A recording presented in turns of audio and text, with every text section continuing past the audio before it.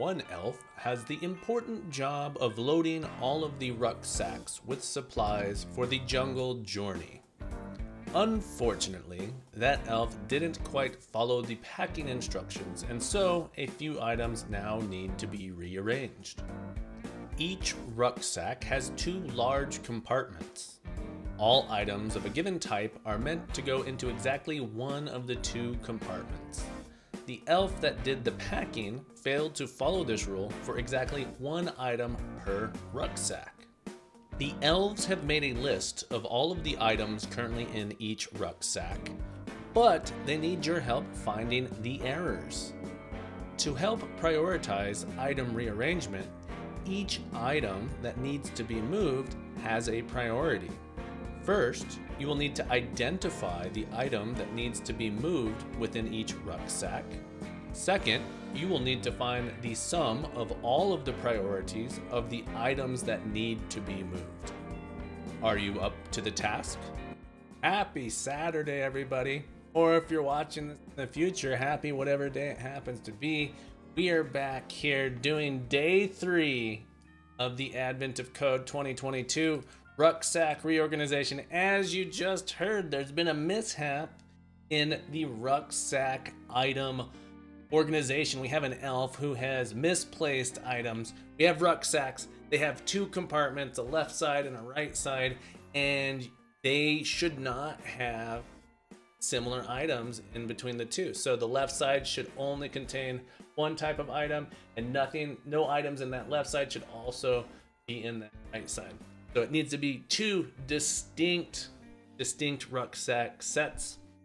So we're we're dealing in mathematics. This is a, a thing called a set. You can think of the left side as being a set, the right side of being a set. And when you take the intersection, so if you're looking at the Venn diagram, if you take the intersection of the two, the middle should not have anything in it. So we're going to treat this as an intersection problem. So what do we have to do? Let's look at our inputs here. We're getting rows of rucksack inventory. So each character represents an item in our rucksack. And it's saying that it's going to be an even number of items. We can split them evenly between a left side and a right side. So we know for sure that there's going to be an even number and we can take the left side the right side. We need to split it into two compartments. So the first thing we're gonna do is we're gonna get something that can take in a string, get us our left side, get us our right side. The first methods we're gonna write, we're gonna write a get first compartment, get second compartment. It's gonna take that string, break it out, and give us our left and right sides. Once we have that, we need to find, we need to find the intersection where these two things overlap, and that's gonna tell us in the middle, if we do an intersection, it's gonna tell us what is it is matching between the two. One of these things, sh they shouldn't be in either side. So we're gonna write an intersection method that takes in each of our, our compartments, tells us what's the same between them. Then we need to figure out the priority on it. So down here, every item has a priority. So we're gonna have another method, get priority, that goes in and it tells us that value. And then once we have all that, our program, we just iterate through. We loop through all of these things. We loop through each rucksack, find that value, pull out each compartment, find the intersection, get the value, sum them up, and report that value. So that's the high level overview. Okay, so let's look at the first part. We want to be able to get each compartment. Let's develop a strategy for doing that. We know that each rucksack has an even number of items stuffed into it and each compartment has exactly half. So using that information, we know we can split the string into two using a substring. You need some help with that for your specific language worth looking up, but you want to do a substring that is exactly half the length of the string, where you take the first half and then the second half. For my solution, I'm going to write two methods. One, get first compartment, and the second one's get second compartment. Both will take in a string as a parameter which will be the entire rucksack, and then it will return a substring, which is either the first half or the second half.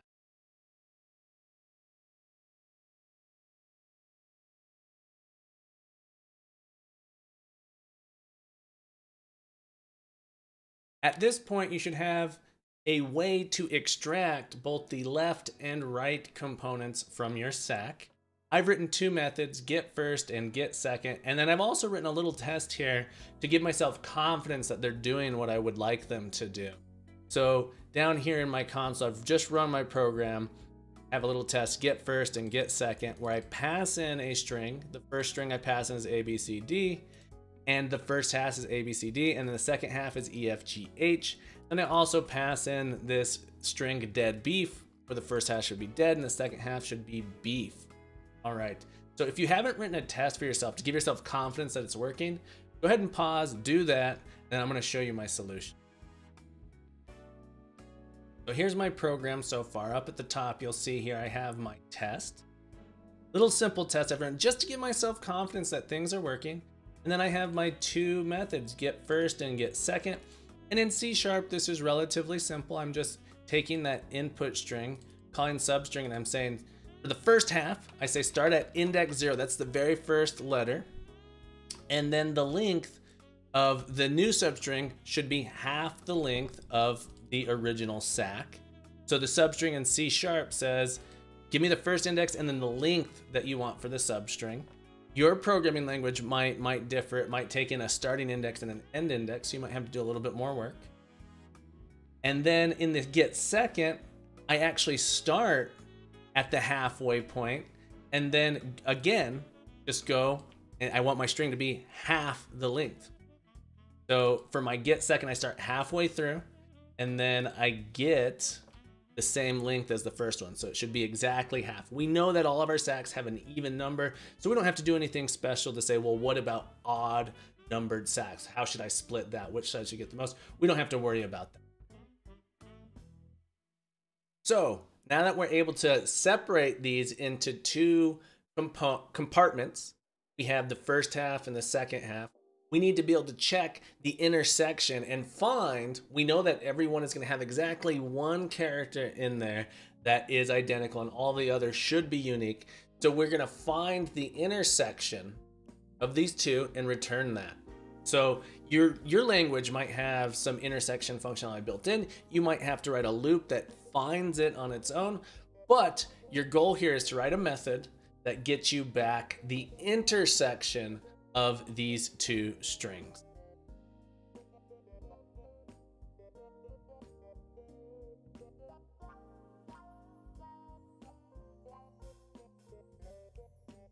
At this point, you should have a method or function that is going to allow you to find the intersection between the two compartments.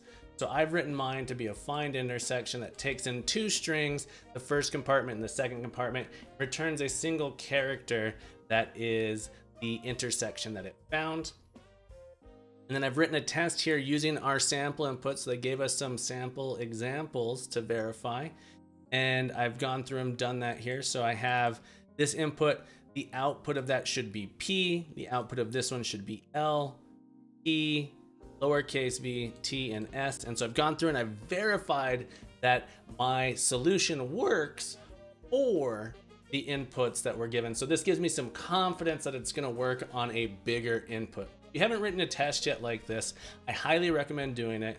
Go ahead and pause and then I'm gonna show you my solution.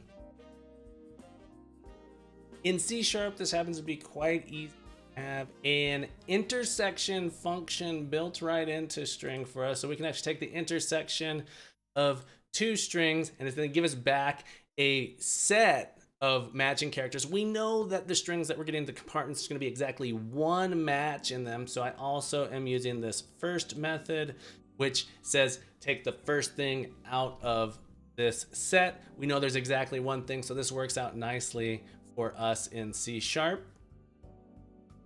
All right, so we're on to the last part here. Before we can put it all together, we need to be able to find the priority value of an item. So our character represents an item and it, their priority is indicated by the letter associated with. So lowercase a to z has priorities 1 through 26, and capital letters a to z have a priority of 27 to 52. So we're gonna write a, a function now a method that takes in a single character and returns an integer, which happens to be its priority value. Some hints here, do not write 52 different if statements. That is a nightmare. You should be able to find a clever solution to do this. You might want to look into how characters are encoded in a computer. Take a look at ASCII you need to. Look up ASCII encodings for characters, and you should be able to use that to give yourself a nice little trick here.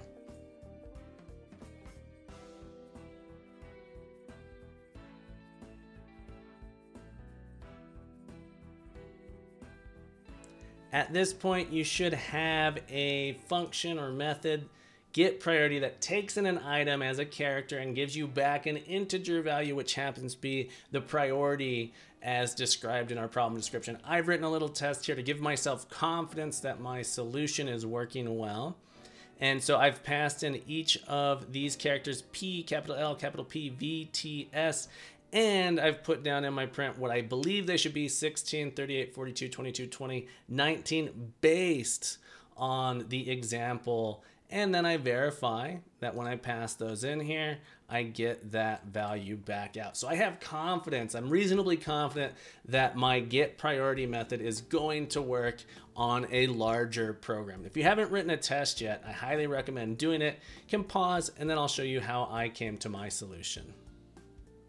So here is my get priority method here. And the way it works is I am taking in a character, I'm gonna return an integer, and I check to see if this character is uppercase first. And if it is, I use the character directly as a number. You can do this in C Sharp. In many languages, you can treat characters as numbers and you can do math with them. In this case, I know that the characters are ordered. So capital A is one integer before capital B, which is one integer before capital C, etc. So I actually subtract it. and I take the character, the item that I want, and I just subtract capital A from it. And then I go ahead and add in 27 to shift it over based on that priority. Similar, if it isn't uppercase in this else section, I take my item and I subtract lowercase a from it, and then I increase it by one, which happens to be the offset there. This is a neat little trick that all programmers, all computer scientists should be aware of that characters are actually encoded as integers and when we treat it as a character that just says how should we display this integer in a terminal or into a text area. Fantastic. At this point, we should have everything we need to do to go ahead and solve this puzzle. So at this point, we need to loop through all of our rucksacks and break it down so that we find the left compartment, the right compartment, find the intersection, find the priority, and then we sum all of those together. So to start out, let's go ahead and take this sample problem, this sample example, and I'm going to add in a file to my project here. Paste that in, and I'm going to use that as my test. When I'm done with my program, I should be able to run it and get the output.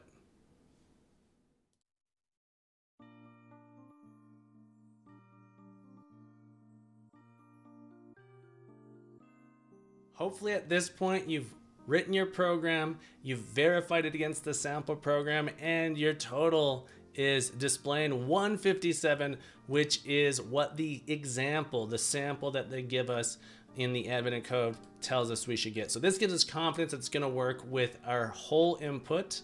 If yours isn't showing 157 yet, go back, see if you can figure out what's going on, and then come back, I'll show you my solution. So here we are in my code here, and we're going over the entire solution here. I have loaded my file into an array of strings. So this is gonna read in my sample.txt into an array of strings. I'm gonna initialize my total. We start out, our total is zero. And then we're gonna iterate through. I'm using a for each here to iterate through all of the strings. So we're gonna iterate through all of our strings. We're gonna get the first compartment, get the second compartment, find the intersection, get the priority, and then add that in. So we've written all of the steps out that we need to do, and now we can just chunk our way through it. Finally, at the end, we just display the total priority. The only thing left to do is to download our puzzle input, run it through our program, and get our solution. Congratulations, you've made it to the end. Hopefully, you've completed part one of day three of the Advent of Code 2022. As always, I hope you learned something. I hope you'll continue your coding journey. Remember to grow, learn, solve puzzles, do it all every day as much as possible. If you want to see more Advent of Code, if you want to see the next video, go ahead and hit that subscribe button and you'll be notified as soon as it's up. As always, have a beautiful day and you're welcome back anytime.